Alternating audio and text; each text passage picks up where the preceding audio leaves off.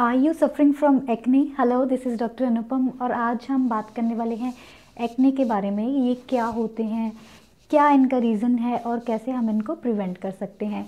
तो नॉर्मली क्या होता है, हमारी स्किन जो है, उसमें बहुत छोटे छोटे पोर्स होते हैं। तो जब इन पोर्स में एक्सेस जो डेड स्किन है या फिर ऑयल है, वो अकोमुलेट होना शुरू हो जाती है तो ये पोर्स ब्लॉक हो जाते हैं, जिसकी वजह से एक्ने होते हैं। ये एक्ने हो सकते हैं ब्लैक हेड्स वाइट हेड्स या फिर पिंपल्स तो ये ब्लॉक क्यों होते हैं? जैसे कि टीन एजर्स में या फिर कोई भी हार्मोनल डिस्टर्बेंसेस जब भी होती हैं, हमारी बॉडी में जो ये ऑयल ग्लैंड्स हैं, वो एक्स्ट्रा ऑयल प्रोड्यूस करना शुरू कर देते हैं, जो कि हमारी पोर्स में अकोमुलेट होकर उनको ब्लॉक कर देता है, जो कि बाद में एक्ने का फॉर्म ले लेते हैं। तो इसलिए एक्ने मोर कॉमन है। ग्रोइंग जो ओल्डर चिल्ड्रन हैं या फिर टीन एजर्स हैं they who are approaching puberty तो उनको ज़्यादा कॉमन है। तो जो हमारा डाइट है, वो कैसे इफ़ेक्ट करता है? एक्ने को, इसके बारे में हम बात करेंगे। सबसे पहले तो जब भी हम रिफाइंड कार्बोहाइड्रेट्स या फिर हाई शुगर फूड्स अपनी डाइट में लेना शुरू कर देते हैं तो एक्ने की प्रॉब्लम बढ़ जाती है। वो क्यों? क्योंकि जो रिफाइंड शुगर्स हैं हाई ग्लाइसिमिक इंडेक्स वाले जो फूड्स हैं या फिर सिंपल शुगर्स हैं, जो एकदम से बॉडी में जाके इंसुलिन रिलीज़ कर देती हैं, उससे कि बॉडी में इंसुलिन स्पाइक क्रिएट हो जाता है। जो इंसुलिन है वो क्या करता है, हमारी बॉडी में जो भी ऑयल ग्लैंड्स हैं, उनको स्टिमुलेट करता है टू प्रोड्यूस मोर ऑयल उससे क्या होता है, वो ऑयल पोर्स में एकोमुलेट होना शुरू हो जाता है और एक्ने कॉज होता है। तो हमेशा हमें जो भी सिंपल कार्बोहाइड्रेट्स हैं रिफाइंड शुगर्स हैं रिफाइंड फ्लावर्स है, मैदा है ऐसी चीज़ों को अपनी डाइट में अवॉइड करना है। तो इसकी बजाय हमें क्या लेना है? होल ग्रेन्स होल ग्रेन्स क्यों लेने हैं? Because they are rich in fibre उनका ग्लाइसीमिक इंडेक्स लो होता है। वो ब्लड में जाके एकदम से इंसुलिन रिलीज़ नहीं कराते हैं। आ, उसकी वजह से हमें एक्ने नहीं होता है।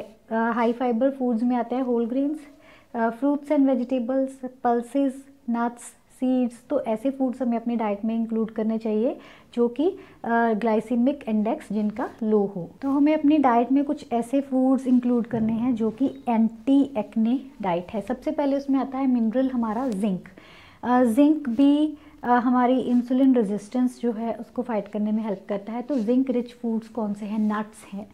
सीड्स हैं। Cashews pumpkin seeds watermelon seeds sunflower seeds quinoa lentils these things are rich in zinc तो हमें इसको डेली बेसिस पे अपने डाइट में इंक्लूड करना है। और हमें कुछ ऐसे वाइटामिन अपने डाइट में इंक्लूड करने हैं जो कि एंटीऑक्सीडेंट्स हों, जो कि फ्री रेडिकल डैमेज को कम करते हैं, वो भी एक्ने से फाइट करने में हमारी हेल्प करेंगे। ये वाइटामिन कौन से हैं? वाइटामिन ए सी एंड ई और ये किन में होते हैं येलो फ्रूट्स एंड वेजिटेबल्स में विटामिन ए होता है कैरेट्स में पम्पकिन्स में।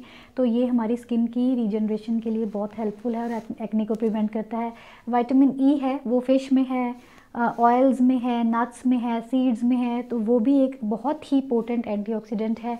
और vitamin C that is present in citrus fruits and broccolis and cabbage and guava amla oranges lemons इन सब में विटामिन सी बहुत अच्छी अमाउंट में होता है, जो कि हमारी ओवरऑल इन्फ्लेमेशन को रिड्यूस करने में भी हेल्प करता है और एक्ने से फाइट करने में भी हमारी हेल्प करता है। और हमें अपनी डाइट में हेल्दी फैट्स को इंक्लूड करना है। हेल्दी फैट्स क्या करते हैं? जो हमारी बॉडी में बैड फैट्स अकोमुलेट हो गए हैं, उनसे फाइट करने में हेल्प करते हैं। Healthy fats are omega threes omega threes किन में होते हैं? फिशेज़ में या फिर एग्स में या फिर नट्स एंड सीड्स में। मैं बहुत सारी वीडियोस में ओमेगा थ्री के बारे में बताती रहती हूँ, जो कि हमारी एक्ने से फाइट करने में तो हेल्प ज़रूर करेगा। ओवरऑल हमारी हेल्थ के लिए बहुत अच्छा है। हमारी हार्ट हेल्थ के लिए, हमारे कोलेस्ट्रॉल लेवल्स को कंट्रोल करने में में भी हेल्प करता है। तो ओमेगा थ्री रिच डाइट हमें ज़रूर लेनी है। अब हम बात करेंगे कि ऐसी लाइफस्टाइल टिप्स ऐसी, कैसी स्किन केयर रूटीन हमारी होनी चाहिए, जिससे कि एक्ने हमें मिनिमम इफ़ेक्ट करें। सबसे पहले तो हमें अपनी बॉडी की हाइजीन का बहुत ध्यान रखना है बिकॉज़ अगर हम हाइजीन मेंटेन नहीं करेंगे तो बैक्टीरियल और फंगल इन्फेक्शंस होने का ख़तरा ज़्यादा रहता है स्किन पे, जिससे कि एक्ने प्रमोट होते हैं। तो हम डेली अपने फेस को या फिर जो भी इफ़ेक्टेड एरियाज़ हैं, उनको हम टू टाइम्स एटलीस्ट वॉश करेंगे और बहुत हार्श केमिकल्स अपनी स्किन पे यूज़ नहीं करेंगे। और आप जब भी वैसे तो मेकअप को अवॉइड ही करना चाहिए।